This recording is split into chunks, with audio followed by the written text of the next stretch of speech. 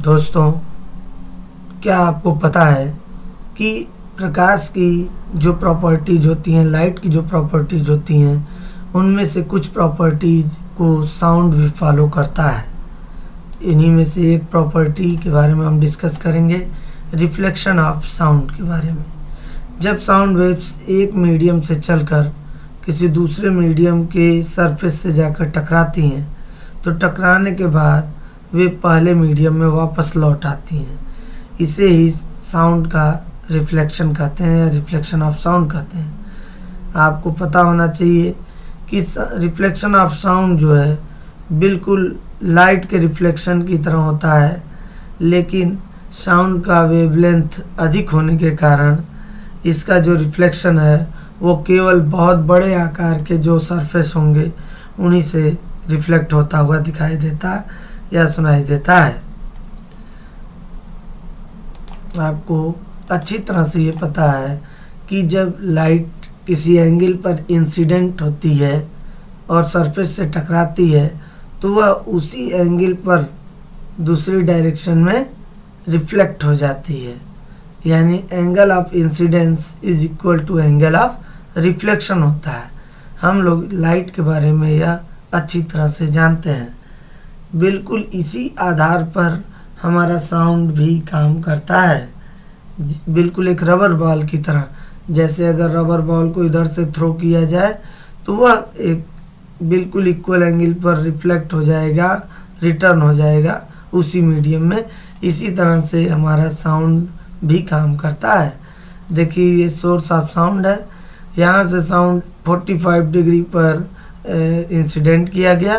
और फिर यह टकरा कर सरफेस से 45 डिग्री पर रिफ्लेक्ट हुआ रिसीवर तक पहुँचा।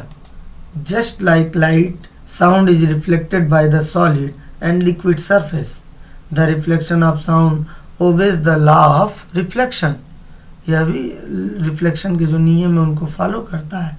कौन सा नियम था? Incident angle is equal to reflected angle पहला ये ला है। लॉ ऑफ़ रिफ्लेक्शन का, कि इंसिडेंट एंगल और रिफ्लेक्टेड एंगल सेम रहता है। And second is the incident direction of sound reflected direction of sound and the normal to the point of incidence all lie in the same plane यानी incident sound wave reflected sound wave और जो इस पर normal perpendicular line draw की जाएगी, जहाँ से ये टकरा कर वापस बैक हो रहा है तो ये तीनों सिंग इसी प्लेन में है सिचुएटेड तो ये दो ला होते हैं लॉ ऑफ़ रिफ्लेक्शन के, और ये बिल्कुल लाइट की तरह फॉलो करता है साउंड भी. इस लॉ को आप बिल्कुल एक प्रैक्टिकल एक एक्टिविटी के थ्रू भी करके देख सकते हैं. ठीक है? इसमें क्या कह रहा है? ये टेक ड्राइंग बोर्ड ठीक? And fix it the vertical position on the table. Put two metallic or cardboard tubes A and B as shown in figure. These tubes make same angle with each other. ऐसा आप रखिए कि ये same angle बनाए एक दूसरे से ठीक है अब आप एक जो है अलार्म क्लॉक को पहले वाले ट्यूब के बिल्कुल सामने रखिए ठीक है तो इसकी जो साउंड होगी टिक टिक वो साउंड यहाँ से इस ट्यूब से होते हुए जाएगी और यहाँ इस ट्यूब से होते हुए हमको सुनाई देगी। अब इस ट्यूब को आप मूव करा के देखेंगे, ठीक है? एक बार इधर रखेंगे, एक बार यहाँ रखेंगे, फिर यहाँ रखेंगे, फिर यहाँ रखेंगे। और उस दौरान आपको ये नोटिस करना है कि किस एंगल पर आपको ज़्यादा साउंड सुनाई दे रही है। तो आप नोटिस करेंगे कि जिस एंगल पर यह पाइप है उसी एंगल पर जब यह पाइप आएगी तो ही आपको मैक्सिमम साउंड सुनाई देगी। कारण, क्योंकि sound follows the law of reflection angle of incidence जितना होगा, एंगल ऑफ़ रिफ्लेक्शन भी उतना ही होगा, तभी हमको मैक्सिमम साउंड सुनाई देगी। Angle I is equal to angle R तो आपके लिए एक होमवर्क है, इस एक्टिविटी को आप अपने घर पर ट्राई कर सकते हैं। घर पर ये सारी चीज़ें उपलब्ध होती हैं। आप अरेंज करके इस एक्टिविटी को करिए और कमेंट करके ज़रूर बताइए कि आपने इससे क्या सीखा। हमारा अगला पॉइंट है। हाँ एक और बात आप लोगों की जानकारी के लिए बता दूँ कि जो ये रिफ्लेक्शन ऑफ़ साउंड है, इसका हमारे डेली लाइफ में कई एग्ज़ाम्पल देखने को मिलता है। जैसे कि यदि हम किसी कुएँ में देख कर झाँक कर बोले तो हमें अपनी आवाज़ पानी से परावर्तित होकर फिर से सुनाई देती है। रिफ्लेक्शन मीन्स होता है परावर्तन। ठीक है? रिफ्लेक्शन ऑफ़ साउंड दीवारों से, पहाड़ों से, समुद्र तल से, नदी से, पृथ्वी तल से, सभी चीज़ों से हो सकता है रिफ्लेक्शन ठीक है? नेक्स्ट हमारा है, देखिए, जब साउंड वेव्स होती है ना, वो किसी सॉलिड टावर या वाल या पहाड़ से टकराती हैं तो वहाँ से रिफ्लेक्ट बैक होती हैं। ठीक है? तो इस रिफ्लेक्टेड साउंड को हम क्या कहते हैं? इको कहते हैं।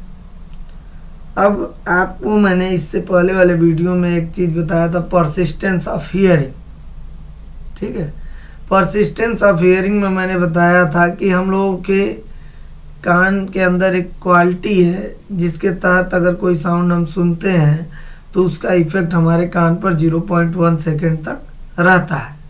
इस जिसकी वजह से हमको कंटिन्यूटी बनी रहती है साउंड में और कोई कंफ्यूजन नहीं होता लेकिन यदि कोई साउंड इस 0.1 सेकेंड के नियम को ना फॉलो करे, जैसे कि यहाँ पर देखिए if we clap our hands while standing at some distance from a high and huge wall or a hill.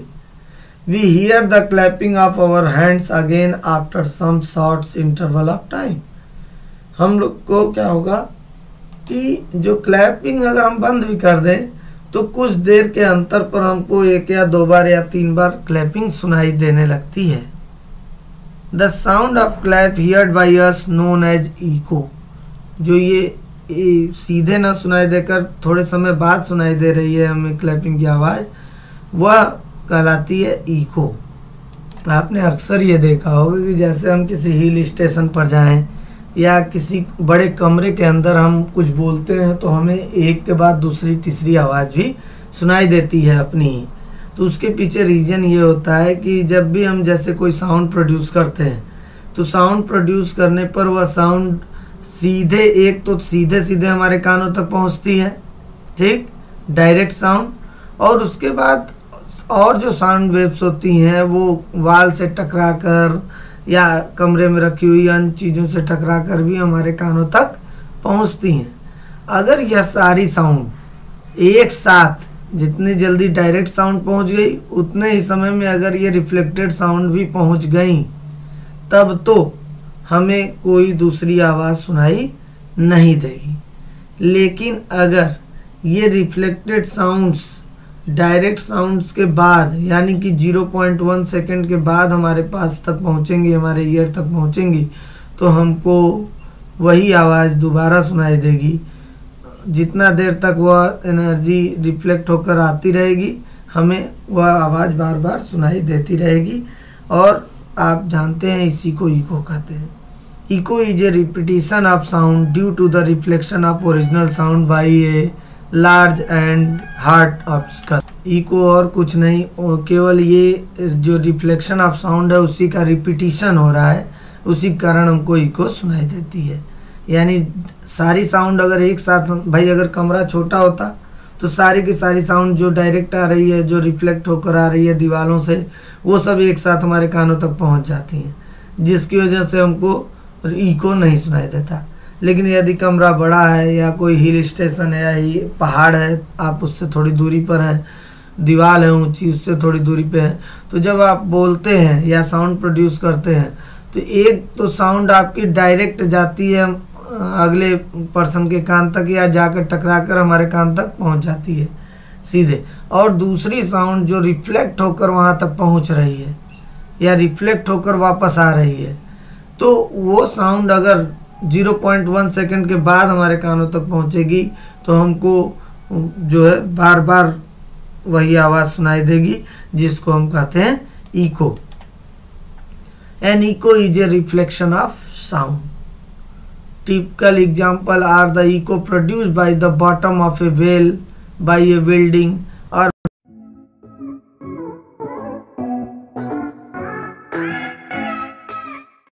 by a building by the walls of the enclose room and an empty room इन सारे जगह पे echo आपको सुनने को मिलता है। A true echo is a single reflection of the sound source बिल्कुल साफ़ साफ़ इको हमको अगर सुनाई दे तो एक सिंगल रिफ्लेक्शन जो होता है, उसमें साफ़ साफ़ सुनाई देता है। उसके बाद बाकी जितने रिफ्लेक्शन होते हैं, उसमें क्या होता है कि साउंड की इंटेंसिटी कम होती जाती है, क्योंकि जो एनर्जी है वो वाल द्वारा एब्जॉर्व कर ली जाती है, या दूरी तय करने में खत्म हो जाती है। The time delay is the extra distance divided by the speed of sound इसको अभी हम समझाएँगे आगे, कैसे हम इको को कैलकुलेट करते हैं।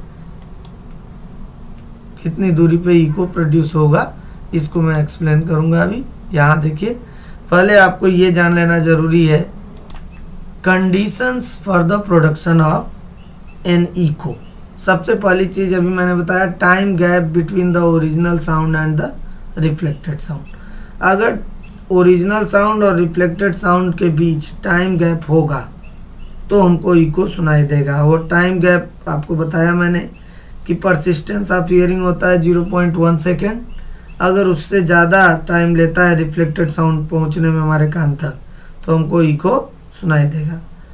दूसरा है distance between the source of sound and obstacle अगर सोर्स ऑफ़ साउंड और जिससे टकरा कर आवाज़ वापस आ रही है, उनके बीच की डिस्टेंस बहुत मैटर करती है। ठीक है? आपको पता है कि स्पीड की साउंड एयर में लगभग 344 मीटर पर सेकेंड होती है। और जो साउंड है, वो distance travelled by the sound in 0.1 second तो अगर 0.1 सेकेंड में हमको डिस्टेंस निकालना है। भाई डिस्टेंस हम क्यों ले रहे हैं? देखिए total distance of travelled by sound is equal to speed of sound into total time तो डिस्टेंस को 2D लिया गया क्यों? क्योंकि यहाँ से यहाँ तक जाएगा साउंड फिर वापस भी तो आएगा, तब ना इको सुनाई देगा।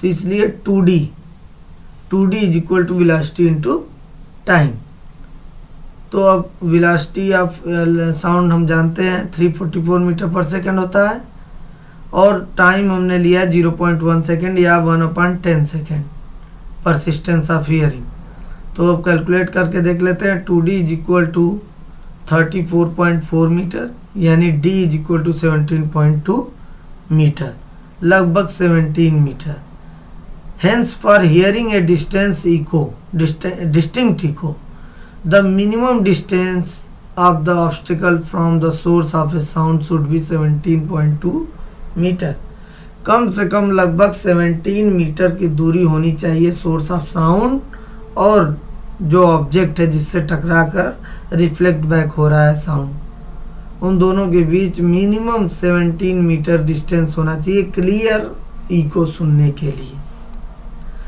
The distance changes with the changes of temperature of air air के टेम्परेचर अलग है, जैसे ये था 20 डिग्री टेम्परेचर पे।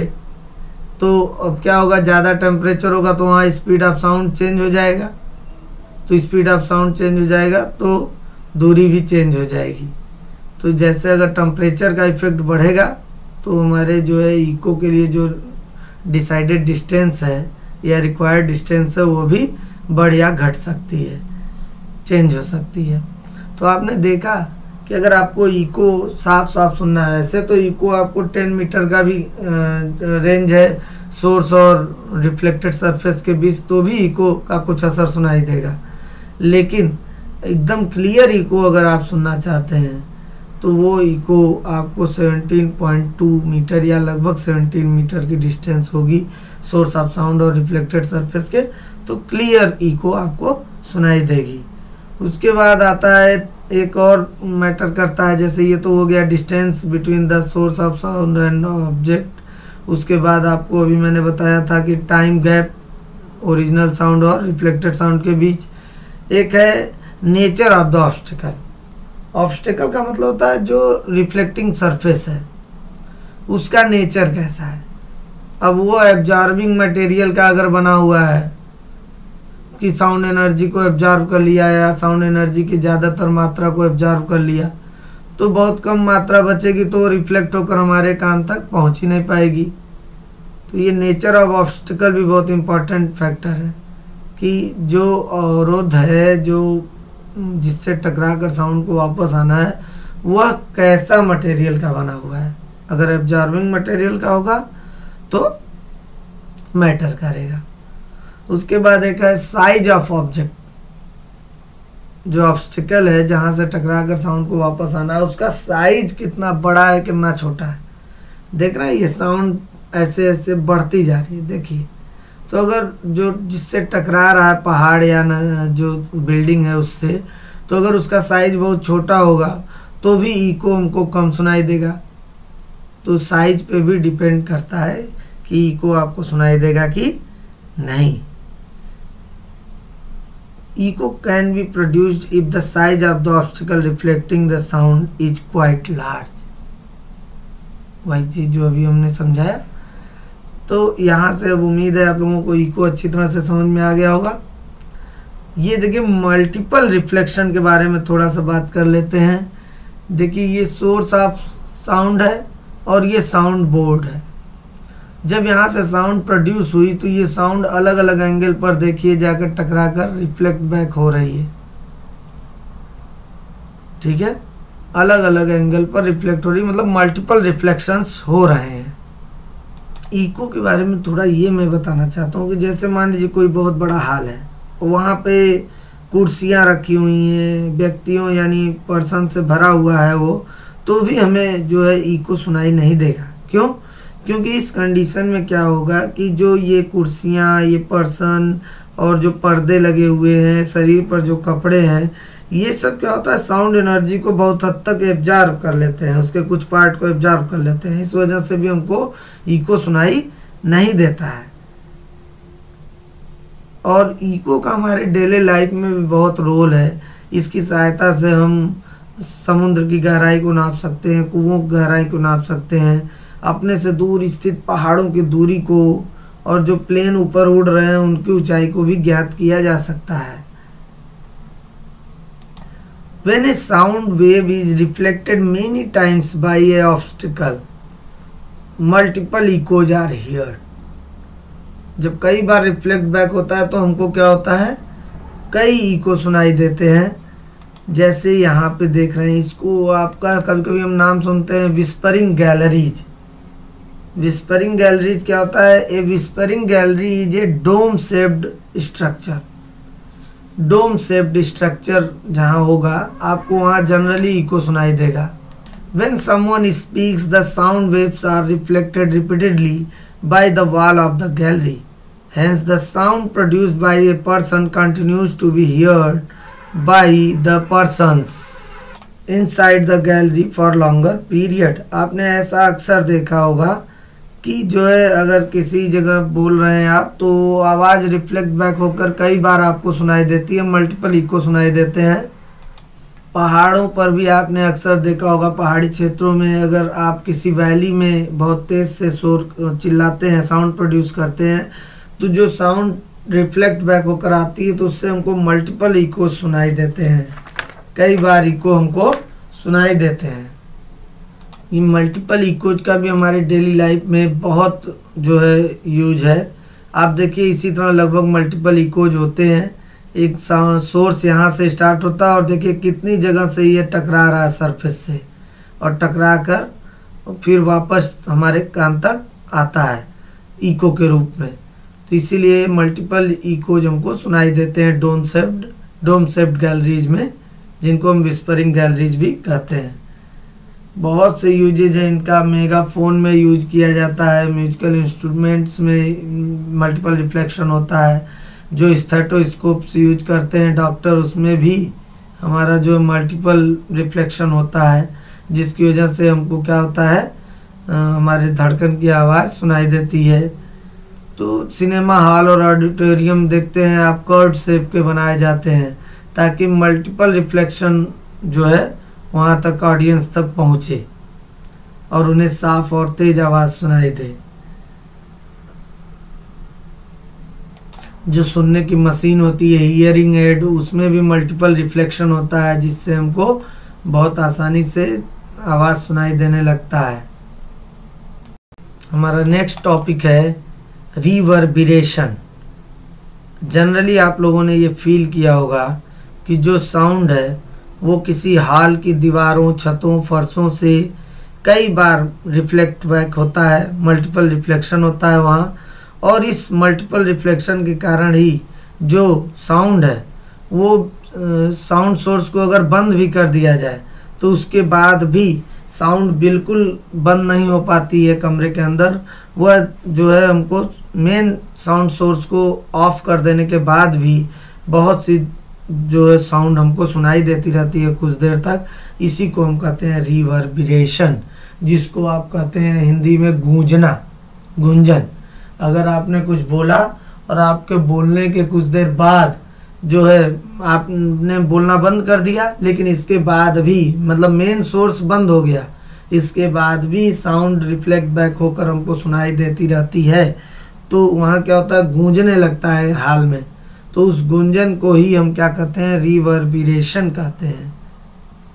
और उस टाइम को जिस टाइम में यह सुनाई देती है, उसको हम रिवर्बिरेशन टाइम कहते हैं।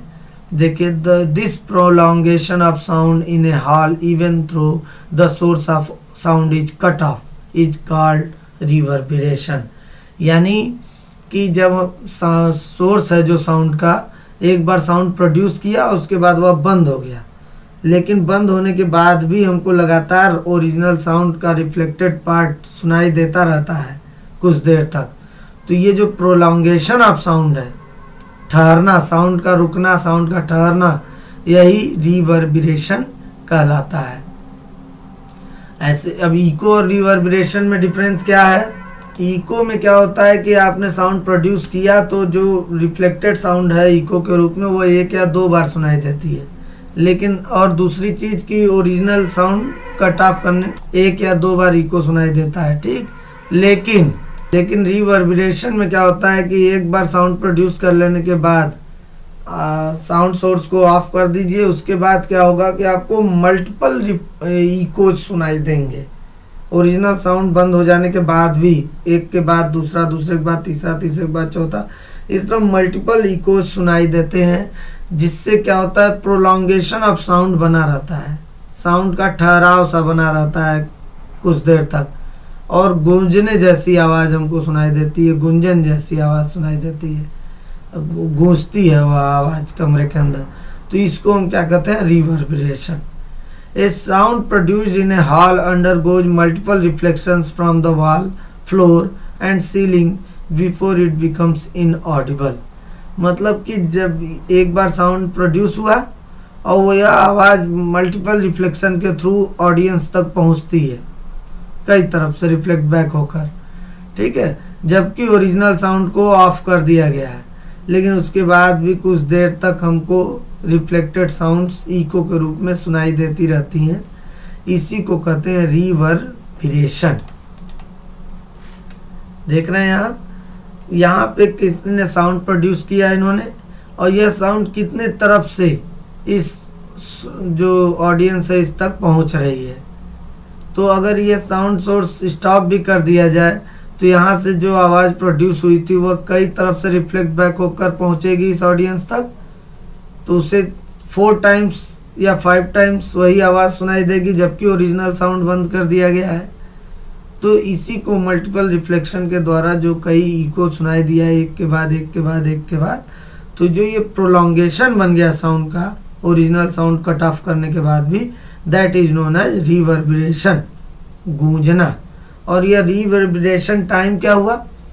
साउंड प्रोड्यूस करने के बाद कट ऑफ़ कर दी गई सोर्स को बंद कर दिया गया। तो इसके बाद यह जो साउंड कई बार रिफ्लेक्ट बैक होकर ऑडियंस तक पहुँच रही है। तो जिस टाइमिंग के दौरान यह घटना घट रही है, जिस टाइमिंग के दौरान यह हो रहा है, उसी टाइम को क्या कहते हैं? रिवर्बरेशन टाइम कहते हैं। तो reverberation time is defined as the time interval for which the original sound appears to be prolong उस टाइम को, जिस टाइम के दौरान ऐसा लगता है कि ओरिजिनल साउंड बिल्कुल ठहर सी गई है और फॉलो कर रहे हैं सब उसको। For an architect reverberation time of the auditorium is the main concern किसी भी ऑडिटोरियम हॉल का, के अंदर अगर रिवर्बरेशन टाइम बहुत ज़्यादा होगा तो कोई भी प्रोग्राम होगा तो आवाज़ साफ़ साफ़ सुनाई नहीं देगी, क्योंकि एक बार जो कोई कुछ कुछ बोलेगा तो वो कई बार गूंजेगा हाल के अंदर। तो अगली बार जब बोलेगा वो पर्सन माइक से तो लोगों को बात ही नहीं समझ में आएगी, क्योंकि पहले वाले आवाज़ का रिफ्लेक्शन अभी आता रहेगा। तो इसीलिए किसी भी ऑडिटोरियम हॉल का जो रिवर्बरेशन टाइम है, वह एक आर्किटेक्ट के लिए बहुत ज़्यादा बड़ी चुनौती होता है। अगर वह सही से नहीं हाल को बनाएगा तो ये जो रिवर्बरेशन है, ये इफ़ेक्ट उसमें दिखेगा, जो कि सही से किसी भी प्रोग्राम को कंडक्ट नहीं होने देगा। ये जो रिवर्ब्रेशन है टाइम है it can be decrease by using sound absorbing material in the auditorium for example the ceiling of the auditorium is made by the soft and textured material the windows of the auditorium are covered with heavy curtains the special tiles known as acoustic tiles are use for the flooring of the auditorium समझ रहे हैं? ऐसे सारे materials use किए जाते हैं auditorium में, जो कि एब्जॉर्बिंग मटेरियल से बने होते हैं, और वो साउंड एनर्जी को एब्जॉर्ब कर लेते हैं। तो साउंड एनर्जी को जब एब्जॉर्ब कर लेंगे वो तो क्या होगा? ये साउंड जो रिफ्लेक्ट बैक होके आ रही है, पूरी पूरी नहीं आएगी। देखिए, जैसा कि इस फिगर में दिखाया गया है कि यहाँ से कई साउंड वेव्स देखिए जा रही हैं। इस पर्सन तक इधर से डायरेक्ट पहुँची, फिर इधर से रिफ्लेक्ट होकर, कई जगह से रिफ्लेक्ट बैक होकर इस पर्सन तक आवाज़ आ रही है। लेकिन जब साउंड एब्जॉर्बिंग मटेरियल लगा दिया गया तो आप देख सकते हैं कि इसने इस वाले वेब को एब्जॉर्ब कर लिया। ठीक साउंड एनर्जी यहाँ एब्जॉर्ब हो गई, जो इधर से जा रही थी। यहाँ से जाने वाली साउंड एनर्जीज को एब्जॉर्ब कर लिया, इधर से जाने वाले को एब्जॉर्ब कर लिया। और इस पर्सन तक केवल डायरेक्ट साउंड जो पहुँच रही है, वही पहुँच रही है। तो इस केस में क्या होगा कि इसको रिवर्बरेशन फील नहीं होगा, गुंजन फील नहीं होगा मल्टीपल रिफ्लेक्शन सुनाई नहीं देगा मल्टीपल इको सुनाई नहीं देगा। तो यही चीज़ ऑडिटोरियम के अंदर किया जाता है, वहाँ पे साउंड एब्जॉर्बिंग मटेरियल्स यूज़ किए जाते हैं, ताकि जो ज़्यादातर इकोज को, ज़्यादातर साउंड एनर्जी को क्या करे वो एब्जॉर्ब कर ले, और कम से कम जो है रिवर्बरेशन टाइम हो उस ऑडिटोरियम का, और लोगों को साफ़ साफ़ साउंड सुनाई दे। एक टॉपिक है what are shock waves shock waves को सोनिक बूम भी कहते हैं। The speed of any object moving faster than the speed of sound is known as supersonic speed होता क्या है कि अगर कोई ऑब्जेक्ट कोई ऑब्जेक्ट साउंड की स्पीड से ज़्यादा तेज से अगर चलता है तो उस स्पीड को हम कहते हैं सुपरसोनिक स्पीड यानी साउंड की स्पीड कितनी होती है? लगभग 340 मीटर पर सेकेंड और यदि इस स्पीड से ज़्यादा तेज कोई ऑब्जेक्ट मूव कर रहा है तो उसको हम सुपरसोनिक स्पीड कहते हैं. और जब इस स्पीड से कोई ऑब्जेक्ट मूव करता है तो अपने पीछे अपने पीछे एक बिल्कुल सक्वाकार कह सकते हैं। कोनिकल शेप में एनर्जी रिलीज़ करता है। वेन एन ऑब्जेक्ट से bullet fired from a gun और a supersonic jet aircraft move through the air with supersonic speed then the sound wave produced by them are piled up in the form of a cone shaped wave known as shock waves or highly compressed air. बहुत तेज जब super sonic speed से कोई jet plane move करता है या bullet move करती है गन से तो क्या होता है कि एक बहुत ही कंबाइंड वे में कोनिकल शेप में वेव प्रोड्यूस होती है जो कि पीछे की तरफ़ इस तरफ़ बढ़ते हुए फैलते जाती है। बहुत ही हाईली कंप्रेस्ड एयर का। मतलब इस स्पीड से जब कोई चीज़ चलती है तो बहुत पीछे की ओर एयर को एक तरह का धक्का लगता है, एक तरह का फोर्स लगता है, जो कि इस तरह कोनिकल सेप के रूप में पीछे की ओर बढ़ते हुए क्रम में जाती है। और the shock waves carries a huge amount of energy बहुत एनर्जी होती है इस, जो ये सॉक वेव्स होती हैं और जो ये कोनिकल शेप में पीछे की ओर बढ़ते जा रही हैं। The shock wave produce by a loud sound called sonic boom as it travels through the air आप देखते हो, कोई जेट प्लेन को कभी आप देखिए तो उसको जब वो फ्लाई करता है तो क्या होता है कि बहुत आवाज़ हमको सुनाई देती है। वो आवाज़ इस सोनिक बूम के कारण ही सुनाई देती है सॉक्स वेव्स के कारण ही हमको सुनाई देती है। और इसका ड्रॉबैक क्या है कि when a shock wave produce by a super sonic jet aircraft strikes a building the glass window panes start rattling and sometimes these glass windows can even break. इतनी एनर्जी होती है इन सॉक वेव्स में कि जब ये किसी building से टकराती हैं तो बिल्डिंग के जो खिड़कियों के शीशे होते हैं, वो बहुत तेज़ी से वाइब्रेट करने लगते हैं और कभी कभी तो टूट भी जाते हैं।